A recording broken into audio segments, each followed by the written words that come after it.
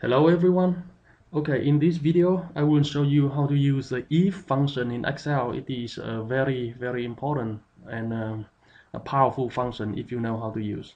Okay, so the situation here is now on the first column, I have the date which ranges from the first of the, I mean the first day of uh, 1926 all the way, I mean in your file till 2010 or something so over here I'm just make a shortcut you know. I, I end the data in uh, somewhere in February 1926 okay?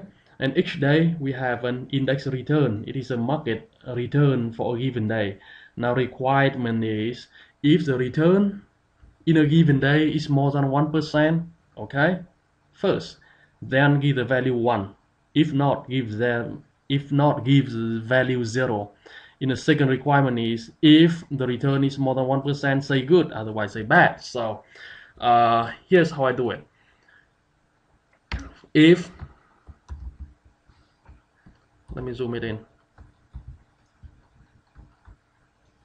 Uh, actually the formula is right here. So equal to if open the parentheses. If what? Of course if the return right? The return for that day more than one percent no big deal, right? Very clear. If the return on that day, instead of typing, I click it, right? More than 1%. Then you type comma and give the value if it is true. You can see it right here. Value if true. So I say give the value 1. If not, I type a comma and then it means give the value if it fails. So the value if it fails mean uh, 0, right? So close the parentheses, hit enter.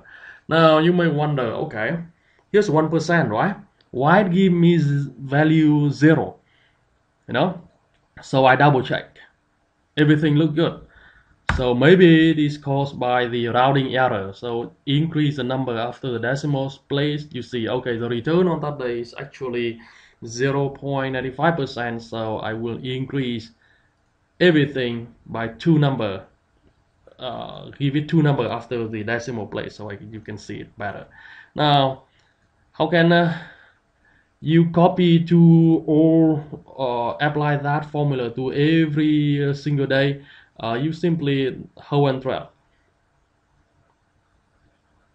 yeah I know now I only have like a 45 line but in your orig original file you have 22,000 files so you have to drag it, it will take you some more time to drag it. Uh, one way to do it is you can kind of hold control and scroll down so everything seems smaller. So it will save you the time to drag right? You can see it. Now some of you may know that you can double click but before you finish the first drag there is no way I don't think you can double click it. So uh, I mean double click here. So now let's look at that. The day do we have any day with more than 1% unfortunately no. So we don't have any value 1 over here. Uh, let me change it okay? Instead of give it 1% how about more than uh, positive. I mean if the return is positive give the value 1 otherwise give value 0 so all I need to do is to change the number 1 here into 0 and I hit enter right? So as you see let me zoom in. As you see on the first date return is positive and that is why I have number one. Now do you need to drag it all the way down? Okay you don't need to because you already complete one. You already complete one. So now look you move your cursor to the uh, bottom right and it of course become a black cross right? Double click.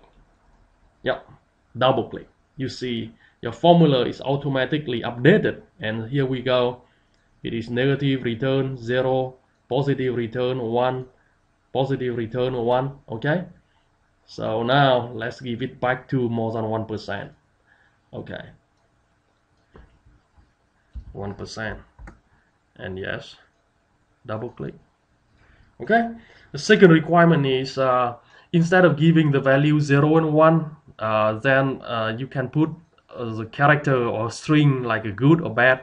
So over here equal to if open the parentheses. This one return on that day more than one percent. Then true value. Good. You have to quote it. Good. Oh sorry. Good. Comma otherwise you know? If the value fails uh, bad. Close the parentheses. Hit enter. So now let me see if you can yep in this case let me do it again. In this case because you already have the uh, the data here field now excel understand that you can uh, you want to copy that uh, formula in the bed here to all the cell below. So now move it here double click. Yep yeah everything become bad. Yep. And again you can change it to say zero percent to see good or bad. So first day good. Now you move here double click. Yep good bad good bad whenever the uh, uh, return change sign from positive to negative. That's it. Okay?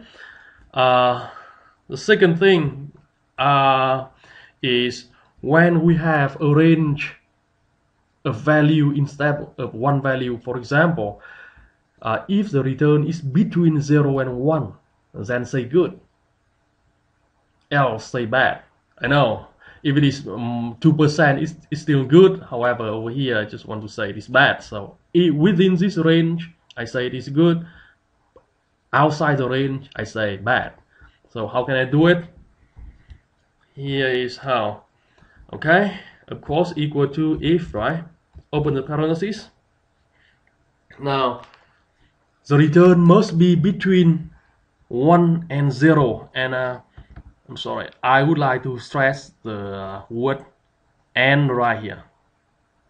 And yep and and Excel take that and into this function. If now and the return here more than 0 and less than 1 so instead of and then we have n here already. You only need to type a comma. And the return less than 1%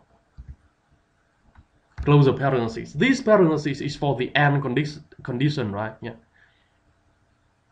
Yeah. If return more than 0% and less than 1%. So that complete the and condition.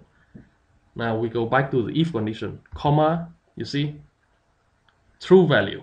Of course, say good. Comma, now that value if false here highlighted, bad. And then uh, you need to close it. You close the if function. Yep. Now you can, of course, drag it. Good, bad, good, bad. So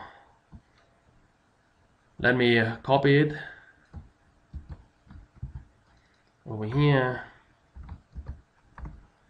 You have it with you. Okay, again, we still use the if function. However, we need the return to be between 1 and a 0 and 1%. So we, we say that to Excel. Okay, if return more than 0% and less than 1%, then comma, then say good, else say bad. That's it. Okay. Uh, may maybe you may if you want to change it to say 0 and 2 percent for example you replace it with 2 hit enter and double click to update your uh, formula. Now finally I want to show you OR the OR function with if so the situation is if the return is less than 1% or more than 1%, what does this mean? when the market moves either below 1% or move above 1% in a day. So it must be a big move day, right? Like the market drop 2% or increase 2%. Yes, it is a big move day on the market. And the key word for us here is or. Or, right? So now let's say, uh, let's say, let's tell Excel to do it for us. By now, I think you know how to do it. Uh, because we already finished the and. so now equal to if. Of course the keyword we use is or right? Or or. Or. Now return less than negative 1 comma return more than positive 1 percent. Yeah. You can see here when I close the parentheses, it completes the OR condition. So if that condition is satisfied, we give the value true, which is big move. Else, it means comma, normal. I close the quote, close the parentheses, hit enter, and now I have to drag it all the way down here. Okay so let's see. Uh, let me copy it and uh, and paste it somewhere so it stay with us permanent permanently on the screen. Yeah. If condition or